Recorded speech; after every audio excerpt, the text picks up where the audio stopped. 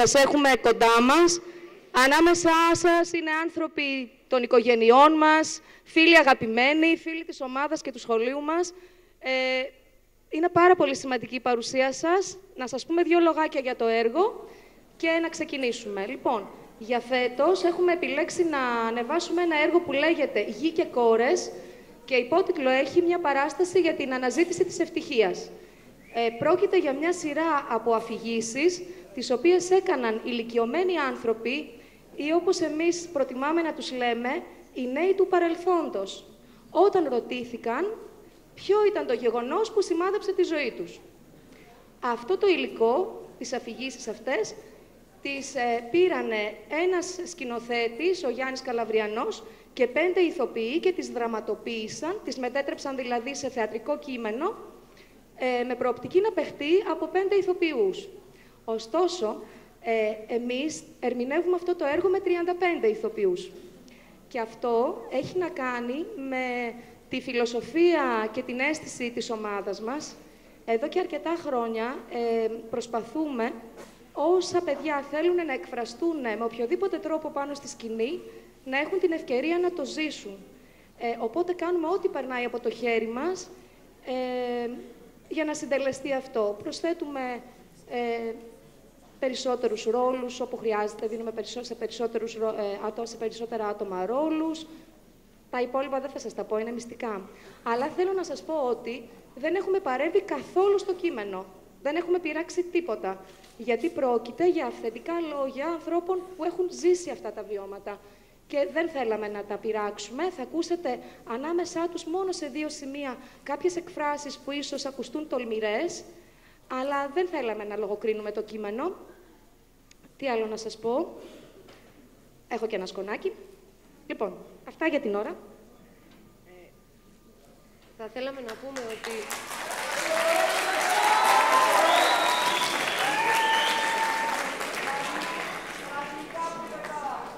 Θα έχει αγγλικά. Όσο σύνθετη και δύσκολη είναι η τέχνη του θεάτρου, ε, άλλο τόσο σύνθετα και πολύπλευρα είναι τα μαθήματα που πήραμε μαζί με τους μαθητές μας.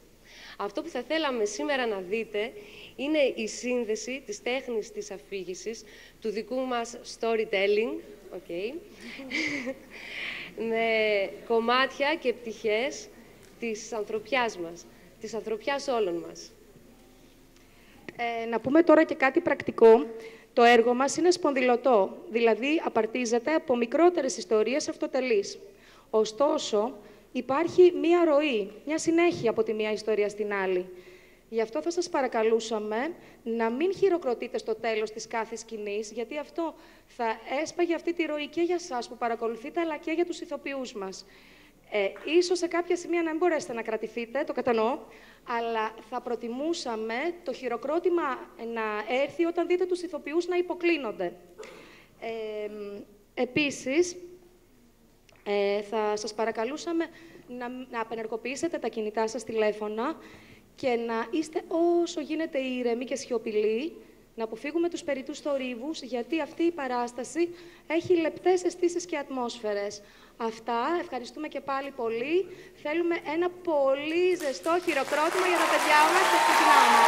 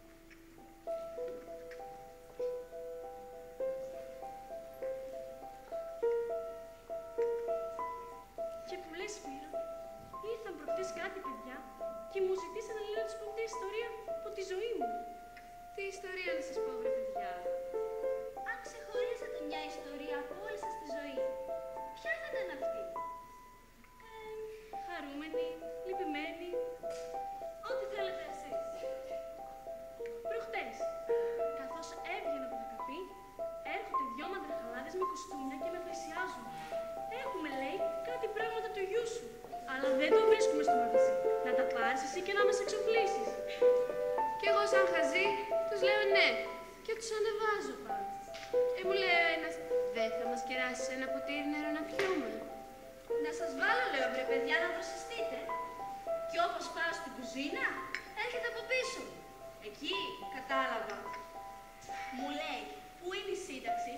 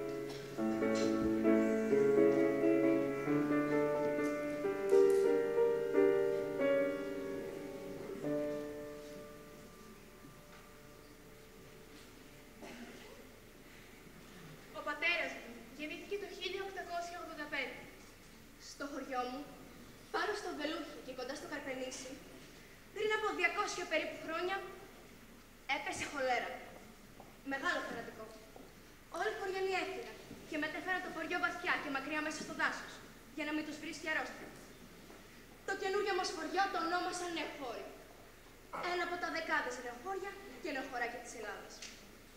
Έχετε σκεφτεί ποτέ όταν βλέπετε μια ταμπέλα με ένα τέτοιο όνομα πως κάτι έχει συμβεί; Για να υπάρχει νεοχώρη, υπήρξε και παλαιοχώρη. Και κάτι το οποίο έγινε η αφορμή να πάψει το παλαιοχώρη να υπάρχει. Στο δικό μας το παλαιοχώρη, αυτό το κάτι ήταν η χολέρα. Ο κύριος Δημήτρης δεν έζησε όσα έζησαν οι δικοί του. Δεν έζησε βαλκανικούς πολέμους, την άμυνα του Βενιζέλου. Δεν πολέμησε στο Κιλκής. Δεν βρέθηκε στη Σμύρνη να παρελάσει για την Ελλάδα το δύο επίρρεπ και το πέντε θαλασσών. Δεν είδε το πρόσωπο της καταστροφής. Δεν τα πρόφτασε αυτά, γιατί είχε φύγει λαθρέα το 1910. Φωνιάς! Το πώς έγινε, θα σας το διηγηθούμε σαν παραμύθι. Όπως σε παραμύθι ακούγονται οι μικρές ιστορίες των ανθρώπων, κάτω από τις μεγάλες ιστορίες των χωρών. Άνθρωπος γιγαντόκορμος, με χέρια δυνατά, σαν άρπαζε το τσεκούρι και το τσαπί, αναστέναζε το έλατο και το χωράφι. Γράμματα δεν ήξερε. Έμαθε κάτι λίγα μόνο στο, στρο- στο στρατόπεδο, ίσα ίσα να αναθοσκαλίζει τα στερεότυπα. Υγείαν έχω. Και κάποιες ελάχιστες πληροφορίες της ζωής. Βρέχει απόψε. Και το ψωμί εδώ είναι άνοστο. Η μαμά μου δεν ήξερε να γράφει και να διαβάζει. Της τα διάβαζε ο γραμματικός που έγραφε για λογαριασμό της. Με την αυστηρή δική της υπαγόρευση και τον όρκο πως δεν θα τα πει πουθενά. Άλλο τώρα αν εγώ γράφω και διαβάζω για όλο το χωριό. Δεν σώθηκε κανένα από τα γράμματα που έστελνε αρεάκι που από το στρατό. Τα κάνω όλα προς ανάματα. Και η ζωή τους ξετυλικόταν ήδη. Χειμώνες, καλοκαίρια, λιοπύρια, νεροποντές, σκάψιμο, εκκλησία την Κυριακή, πάλι σκάψιμο, γάμοι, κηδείες, αρρώστιες, το πανηγύρι του Αηλιά, η γεννητούρια των ανθρώπων και των ζώων. Συμπάντα που δεν άλλαζαν τη ροή του κόσμου, χωρίς ξαφνιάσματα και νοτροπές. Ακόμη και ο θάνατος δεν άλλαζε τίποτα. Αυτός λοιπόν ήταν πάνω κάτω ο κόσμος μας. Ένας κόσμος χωρίς γεγονότα. Μέχρι το χειμώνα το 1909 Ο κύριος Δημήτριος Μιλιάκης του Ανδρέα. Ναι, Ο ίδιος. μάλιστα. Κύριε Μιλιάκη, έχετε υπηρετήσει. Όχι. Γιατί; Ίσως να μην είχε πάει κανένας από το χωριό μας ποτέ φαντάρος. Δεν είχαμε ακόμη οι άνθρωποι στα μέρη μας πιστέψει στη δημιουργία στρατού για τη μεγάλη ιδέα που θα ελευθέρωνε τους αλήτρωτους Έλληνες. Κύριε Μιλιάκη, πρέπει να σας πάρουμε μαζί μας. Γιατί; Για να εκπληρώσετε τις στρατιωτικές σας υποχρεώσεις. 25 χρονών με τρία παιδιά. Καταλήγει στο δατόρο. Τσολιά στην ανακτορική φρουρά. Γιατί είναι και ψηλός. Από την ακινησία του χωριού περνάει σε μια ζωή γεμάτη κίνηση και γεγονότα. Από το αργόσυπτο περιθώριο βρίσκεται στην καρδιά της ιστορίας, ανάμεσα σε πρίγκιπες και πριγκίπισσες με κρινολίνα. Και τον βασιλιά και τον καλό τον κόσμο, με τους κυρίους με τους σφιγμένους λεμοδέτες και τα στριμμένα τους μουστάκια και τις κυρίες με τους στενούς κορσέτες.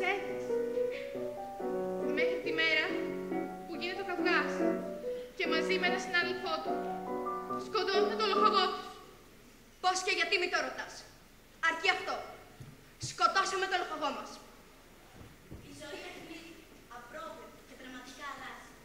Σε μια στιγμή, ποτέ σε περισσότερο. Πάντα σε μια στιγμή. Οι δύο αυτούργοι του φόντου το σκάνε. Παίρνουμε τα βουνά. Μας κυνηγάει ένα απόσπασμα στην Πάρνηθα. Κάπου εκεί που τώρα έχει γίνει το καζίνο μας περικυκλώνουν.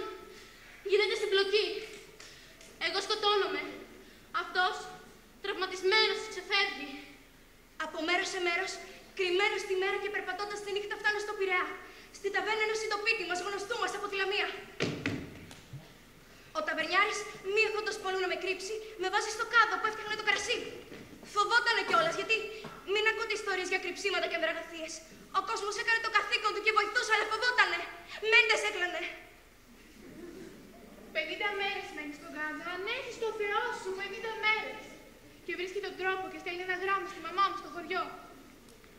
Πρέπει να βρείτε λεφτά. Να πουλήσετε ό,τι έχετε και δεν έχετε. Να δανειστείτε. Να συνεισφέρει και το σόι για να φύγω στην Αμερική. Να σωθώ. Έτσι και έγινε. Μαζεύουμε ό,τι έχουμε και δεν έχουμε, χρεωνόμαστε και με πρόσωπο έμπιστος στέλνουμε τα λεφτά στον ταβερνιάρη.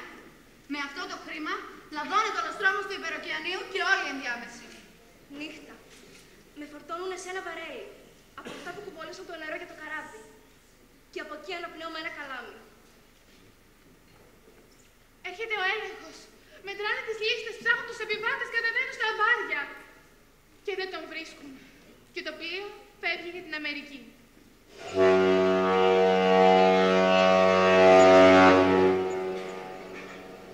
Στα ανοιχτά, έξω από τις ελληνικές θάλασσες με βγάζουν. Μουλιασμένο μέχρι το κόκαλο. Μου δίνουν ρούχα και με αφήνουν να μαζέψω ζέστη. Δίπλα στο θερμαστή που με κάνει βοηθό του. Να ρίχνω κάρβουνα στη φωτιά μέσα στη μουτζούρα. Αφού βέβαια λαδώνεται κι αυτός. Όπως και ο γιατρός που έδωσε το πιστοποιητικό υγείας για να το έχει φτάσει μαζί του στην Αμερική. Οι ναυτιλιακοί πράκτορες, Οι αξιωματικοί. Και όσοι καλοθελητές βρίσκονται στον δρόμο του, πληρώνοντας τελικά το ταξίδι για χρυσό. Όμως ήταν ο μόνος τρόπος για να σωθεί. Ώσπου φτάνω στην Αμερική. Και μας βγάζουν στο νησί, το Ace Island. Εκεί όπου ξεδιάλογα τους μετανάστες.